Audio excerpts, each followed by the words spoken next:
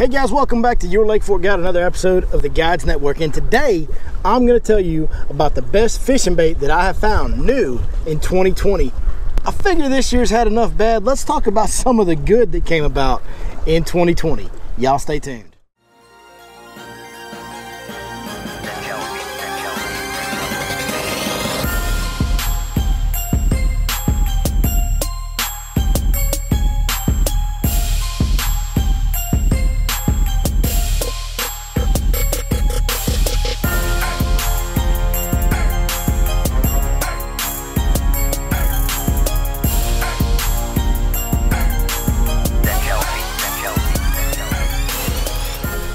Before we dig into this new bait that I found in 2020, I do want to give you guys the disclaimer. This is going to sound like a 6th Sense plug. Yes, I am sponsored by 6thsensefishing.com. By the way, you're going to hear about a lot of stuff from 6th Sense Fishing to help you rig out this new bait. You can go order any of that stuff at 6thsensefishing.com. You can punch in that disc that code your Lake Fork guide. It'll get you a 10% discount on anything you order. But wanted to be upfront about that. This is going to sound like a sponsor plug. I'm just going to be it, it's not it's not. I'm going to be honest with you. It's not a sponsor plug. This really has been the most effective new bait I found this year. Uh, this really is the tools that I use to rig it out with. It just so happens that 6th Sense Fishing is an unbelievably high-end, high-quality fishing equipment company, and all the stuff they make is the best you can find for that category or that tool or that option, whatever it may be. They don't release anything if it's not up to the highest of standards. So yes, I use a lot of 6th Sense Fishing products, and uh, for those of you that follow the channel and see the fish that we catch out here week in, week out most weeks, it does a job. It puts them in the boat. You know, I wouldn't be using something. At the end of the day, it's my job to put fish in the boat for myself and also as well with guide customers make sure they're catching fish so i'm only going to use equipment that i can trust to get bit on a consistent basis 6th Sense fishing absolutely fits that bill so i apologize for sounding like a sponsor plug right up front but this is the real stuff if you've been on my boat you know this is what we use so here we go so the bait that I'm gonna talk to you guys about today came out right at the beginning of the year. We kind of start, we had some of them, prototypes and such at the end of last year, but the actual official release wasn't until the beginning of 2020. So it's a new bait to 2020. Uh, when I first saw the bait, I thought it was one of the most well-rounded, hit a bunch of key bite getting factors, well-designed baits that I'd ever seen. So without further ado, the bait that I'm referring to is going to be the stroker crawl from 6th Sense Fishing, of course. Uh, this is the grass candy color. It's a color I like. When they come out of the package, they're going to look like this right here. This is grass candy. It's got that green flake on one side. Uh, I'm sorry, blue flake on one side and that uh, purple flake on the other. And then you just, you're going to, the claws are going to come attached. You're going to want to go ahead and detach these claws like this right here. That's going to give it the great swimming action. So as I first got this bait, when I looked at the design of it, A, it's got kind of a beaver style body, but smaller, more compact, narrower. Uh, you don't always necessarily want a bigger bait. Man, I'm here at Lake Fork, right behind me. I'm sitting on it right now. It's the king of big baits for big bites, and I get all that. But there are certain baits that you want to be more compact. You don't want fish to be able to pick up a tail of a bait and carry it off at certain times. We throw this bait a lot in the spring. I bed fish with this bait a lot uh, that is a time of year when fish will tend to grab the back end. So a smaller, more compact body is great. Also, if you're throwing it in heavy cover, having a narrower body like it does have over most beaver styles, gets it in and out of that cover better. Now, the appendages on this bait are nothing short of genius to me. And they look really, really simple when you look at them. But seriously, guys, this is nothing short of pure genius the way they design these appendages because when this bait sits still wind's blowing today if you can't tell. When this bait sits still that's what the appendages do underwater. They sit there and they look like claws. It looks like a true crawfish and they'll wiggle around and undulate around a little bit but they'll stay folded up when the bait is resting. So when you pitch it in there and it falls and it sits that bait looks like a crawfish sitting there with those legs folded up. But when you swim it it pulls these legs down and it becomes swimmers kickers. It, it's like having a berkley chigger crawl and a strike king rage crawl in the same bait and a zoom speed crawl to some degree because it has a little bit thinner appendages and will kick at a slower speed than a rage crawl will. So it, it really married, when I saw this and I really thought about how it was going to work in the water and I looked at it in the water, it just marries the best attributes of every crawl bait that I've ever used. Those were my top, before this, my top crawl baits ever. I had a chigger crawl, a rage crawl, and a speed crawl and they were all a little bit different and I had to carry all three of them. Now I just carry one because when I want to fish real slow and subtle, I used to use that chigger crawl and it'd give me that slow undulating crawfish arm profile flap. Well, this will do that at a slow speed. When I wanted to fish fast and have an aggressive fall, I used a rage crawl. Well, this will do that when it falls fast. The arms unfold and swim. And if I wanted to have something that would kick at a real slow speed and have kind of a smaller water disturbance with less pressure making the legs kick, I would use a speed crawl. Well, this does that too. I mean, this this bait, this is the reason I make this my number one new bait of 2020. This bait is everything you could ever want in a crawl bait all in one bait. You don't have to have the multiple baits anymore. In my opinion, every single person on earth that bass fishes should have stroker crawls in their boat. So I've kind of told you why I think the bait is so good. And, uh, you know, just to give you guys a little bit of evidence, those of you that know me know that I'm crazy about sight fishing, absolutely crazy about sight fishing. And I've used different baits over the years. And, you know, the bait's really not the most important part about sight fishing. I'll be the first to tell you that but I do pick a bait that I have to I have to have a lot of confidence in a bait to use it sight fishing and this year the stroker crawl became my sight fishing bait and it is literally the only bait that I threw out of bed this entire season and we had some unbelievably good days sight fishing out here on Lake Fork catching some of the tougher bed fish you'll ever find uh, so this bait really really good it felt like and it seemed like at times to me this year we had more first flip bites on beds than usual. And that was a big confidence builder for me early in the year with this bait. When I would pitch it into a bed, a fish would just come in there and eat it right away. That's not very normal out here on Lake Fork at all. These fish get so much pressure, especially that time of year, sight fishing, man. You come out here and it looks like a merry-go-round on the bank. Everybody's looking at them. Uh, so those fish see a lot of baits. And to have as many fish as I did this year come up and bite it on the first pitch, really built a lot of confidence in me on the stroker crawl. So let's talk about rigging. How do we rig them up? So what are we gonna need to rig these baits up? There's a few different ways to rig them. First one's gonna be a Texas rig.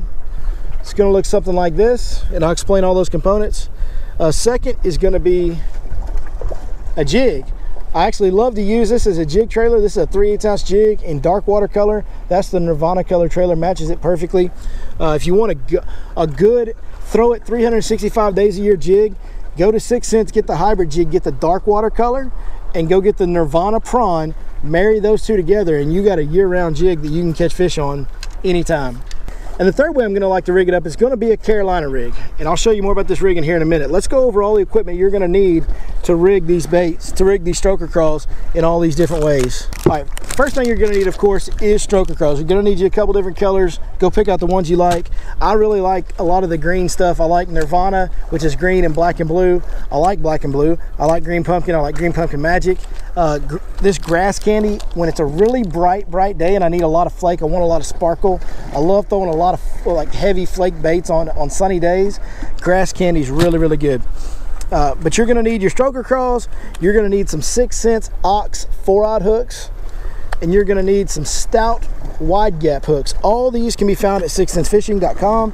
Also, you're gonna need some tungsten. I typically use quarter ounce and 3 eighths ounces. Typically the two weights that I'm gonna use 99% of the time when I'm Texas rigging a stroker crawl. All right, so let's talk about the first one and the simplest one and probably the most common is gonna be a Texas rig. This is a quarter ounce pitch black chip proof tungsten from 6th Sense.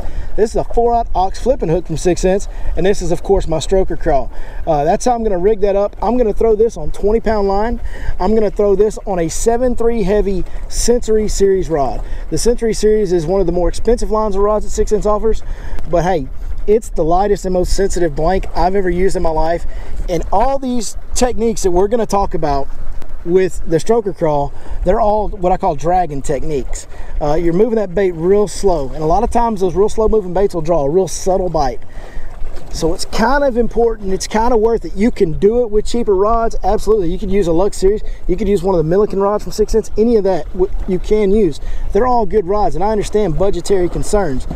But if you have the ability, the opportunity to spend more money, spend it on a rod that you're going to be dragging baits with. Because that's where the sensitivity and really feeling that bite comes more into play, more so than, say, uh, a moving bait would, a crank bait or a, a swim bait or a spinner bait. You don't need the sensitivity as much as you do when you're dragging a bait. So I'm using the Century Series 7.3 Heavy to Texas rig my stroker crawls. Uh, on the jig, if I use the finesse jig, I'll use the same 7.3 heavy uh, rod, Century Series rod. But when I'm throwing the 3 8 and half ounce jig, I'm gonna actually use the 7.7 heavy Century Series rod. Really good jig rod. I love it. I use it for it all the time. I throw a lot, a lot of jigs. And then on the Carolina rig, on this rig right here, I'm actually using the same rod, the 7.7. Hopefully y'all can see all that. I'm using the 7.7 heavy on my Carolina rig. Now let's talk about my Carolina rig a little bit because you'll probably notice it's a little bit different. So I, I, use these bobber stops and what that does is if I have a break off, especially if I have a break off on the hook, I can now simply slide these bobber stops up the line and I only have to tie one knot. If you use a traditional swivel, you've got to tie three knots every time you break off. So it just saves me some time. Also gives me a little extra versatility when I'm, you know, if I want to change the length of my leader, say the wind picks up, I want to tighten my leader down a little bit, or I want a little less action, or I want a little more action. Any of those reasons, I may want to change the length of my leader. The longer your leader, the more action the bait's going to have. The shorter, the less. Um, this allows me to kind of change on the fly, change on the go. If I do have to retie because I got a bad spot in my line somewhere in my leader, slide it up, retie one knot, and boom, I'm going. Just helps me be more efficient. And now there are a lot of times when I like to go silent on my Carolina rig and I'll go one single one ounce weight with no bead. But here lately I've been wanting to make a lot of noise. So what I've actually done is taken two half ounce weights. So I got this click and then I got this click. So I got both clickers. I got double clacking going on. Lots of noise being made. Try that every once in a while. Also, this is more slender. It's a narrower profile than a one ounce weight is, it actually doesn't get hung up like almost ever. You almost never get the weights hung up when you rig them like this. So really effective way to rig my Carolina rig. I really like it. Uh, and then I'm using, of course, the stout wide gap hook is my Carolina rig hook of choice. Uh, this one right here is a 5-aught, really needs to be a 4-aught. A 4-aught is the right hook, both in the ox flipping hook and the wide gap hook. Uh, 4-aught is the right size for the stroker crawl. So there's all the equipment and all the rigging. I don't know if I mentioned this or not, but I'm using 20 pound fluorocarbon for my line on all of those uh, different ways of rigging that bait. So that's everything that I use to rig them up. Now, as you can tell by the different ways we can rig them up, one of my favorite things about this is there's a way to fish this bait in every part of the water column. Uh, and this bait, those legs, the way they work at a slow speed, the way they work at a medium, and the way they work at a high speed, um, it just has such great bite getting qualities that I want to find a way to present that bait, that stroker crawl, to fish in every part of the water column, no matter where they might be. Because I know I have confidence if I get that bait in front of fish, it gets bites. Um, so Texas rig, that's gonna be my shallow approach. If I'm up shallow, I'm flipping around cover, I'm looking at beds, some shallow dock fishing, man, I'm gonna use that Texas rig. I'll also, in some cases, use the 3 8 ounce jig, or I'll put this on a finesse jig and fish it up shallow around docks and shallow cover. Same deal with the Texas rig. Finesse jig is a Texas rig with a skirt as far as the way I fish that stroker crawl. Now, my 3 8 and half ounce jigs. Now, this is gonna be my medium depth range, my deeper docks uh, my my mid-depth creek bends in six foot, eight foot, 10 foot, 12 foot. Uh, depth ranges like that when I'm fishing creek channel bends, docks, standing timber on a point in that depth, those type of things like that. I'm going to use a 3 8 or a half ounce jig. And I'm going to use that stroker crawl as a trailer. So that's another way I can get this great bite getter in front of some fish. And then last but certainly not least, the Carolina rig. I tied it up somewhere, but the Carolina rig, of course, is going to be my deeper bait. Once I get out to about 15 feet and deeper, I'm going to use that stroker crawl on the Carolina rig, fishing main lake points, row beds, pond dams, humps, ledges, you name it. If I can find them on the old electronics right here out deep, that Carolina rig will get that stroker crawl down there to it, present it in an efficient, effective way, and get me some bites. Because like I said, guys, this bait gets bit. All right, guys, thank y'all so much for watching today. Hey, if you want to know some more about how to fish these different techniques to get bites using that stroker crawl, please look up some of our videos. We've made videos on sight fishing. We've made videos on Texas rigging. We've made it on Carolina rigging. We've made it on jig fishing. Uh, you can look up all of those right here on Your Lake Fork Guide. Just search Your Lake Fork Guide, jig fishing. Your Lake Fork Guide, Carolina rig and you'll find those instructional videos that myself and maybe even possibly some other guides or pros have done for you here on this channel uh, and we give you all the details on how we fish that individual technique. So that's just a little too much info for me to put all in one video. I've probably been rambling long enough. Thank you guys thank you guys so much for taking the time to watch this video. I sincerely appreciate it. Hey, leave me a comment. Let me know if you have any questions. Let me know what your favorite bait of 2020 was that came out new to you this year. What bait did you find this year that had the most success for you? I'd love to hear that as well because I might hole jump you and try to fish them myself. Uh, but overall, man, just thank y'all so very much for everything y'all continue to do. Just clicking on these videos, watching them, sharing them, telling your buddies about them, however it is that you guys go about participating in this community that we call your Lake Fork Guide. Uh, I can't thank y'all enough. I'm gonna keep trying to help y'all any way I can. I wanted to bring you guys this bait because it's got so many bites for me this year um, that I really wanted to share that with you. One more way that I, I didn't mention, I don't know why I didn't mention this, is it sure enough catches them, and we caught a pile of them in one of our episodes this year doing it. Uh, the biffle head, the old swing heads, uh, 6th Sense makes a three quarter ounce swing head with a screw lock, really good swing head. And I caught a lot of summertime fish using that stroker crawl on a three quarter ounce swing head. And I'll go ahead, y'all seeing some of the highlights from that video right now.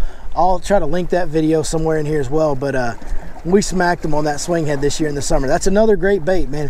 Basically, find anything that you can fish a creature bait on, find an effective delivery system for the type of cover and the depth you're fishing, put that stroker crawl on it, and go get you a bunch of bites. Hey, head over there to 6thsensefishing.com, order that up, order up all the rigging equipment that you need. When you do, punch in the code Your Lake Fork Guide, get the 10% discount on anything you order. I'll stop rambling for real this time. Thank you guys so very much for watching today, and we will see you next time right here on Your Lake Fork Guide. Oh, ready? Superman.